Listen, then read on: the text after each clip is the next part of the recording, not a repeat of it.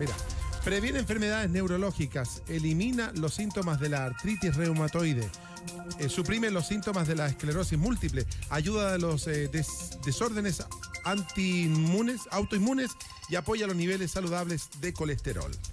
Beneficios de la cúrcuma. Sí, en relación, en relación a, a lo que dice, decía ahí de la prevención del avance de la demencia vascular o Sí. tipo Alzheimer, que es muy frecuente, de la esclerosis múltiple, por ejemplo, son trastornos de eh, sistema nervioso central, ¿no?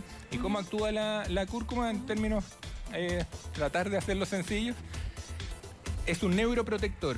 Tiene, eh, induce la producción de un factor neurotrófico. No tienen por qué entender el nombre, pero más bien eso se ha estudiado que está en déficit en la enfermedad de Alzheimer, está en déficit en la depresión, falla también en la esclerosis múltiple y esto lo aumenta. Tiene excelentes resultados. Es un complemento a la terapia habitual, pero es un excelente complemento que debiera ir. Pero ¿cuánto hay que? Porque si te dice, te ayuda a la esclerosis múltiple, te Sí. ayuda al Alzheimer. Claro, ¿cuánto? El- ¿Cuánto, ¿Cuánto? ¿Cuánto dice, uso? ¿Cuánto uso? Porque es realmente hasta milagroso todas sí. las propiedades y todo lo que puede hacer la cúrcuma. ¿Se acuerdan cuando hablamos del cloruro magnesio que parecía Sí. panacea? Eh, esto yo diría que es aún mejor. Aún mejor. Sí, porque Mejor. hay órgano que se le estudia ayuda. tiene, tiene un, una- un beneficio. Nosotros lo estamos incorporando recién, como decía Martín. Eh, en India y en Oriente en general lo usan hace más de 2000 años y se ríen de nosotros que buscamos el método científico y la última, ch- qué sé yo, el, el último detalle de la enzima, porque tenemos una mente que es muy desconfiada, ¿no es cierto? Y no queremos asumir cosas que se están utilizando hace miles de años. ¿Cómo se llama el aliño? El aliño eh, ¿Curry? eh, no, el aliño indio que, que mezclan varios. Eh, varios ¿Masala? Masala. La, Bueno. mas- la masala está en base a cúrcuma, ¿no? Sí, así también el curry, que es mucho más, eh, eh, suena más en, en nuestra cultura. El curry tiene cúrcuma, pero tiene una dosis bien bajita. Ya. Tiene también eh, O sea, es que a todo esto Pedro. Engel ha dicho que la ocupa también para, lavar la, para lavarse la cara, Sí. para lavarse el pelo.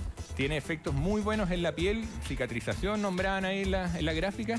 Ahora, yo no lo recomiendo usar como máscara en la cara, porque eh, así como le dejó la, la lengua a Martín Claro. recién, le puede dejar la cara amarilla por varias semanas.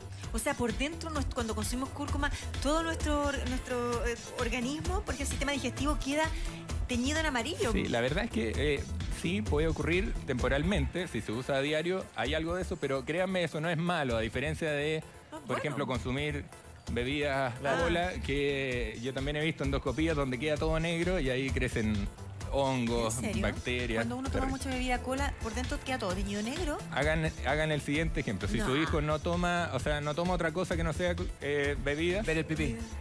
no, échenle en la mano. Que le chorree eh, bebida en la mano. Y el niño va a decir, ah, pero me molesta, me, me van a llegar hormiguitas. Bueno, ¿con qué se va a lavar? Con agua. Eso es lo que requiere. Solamente agua. Agua, agua, agua, Sí, pues, no se va a echar más bebida ahí para limpiar.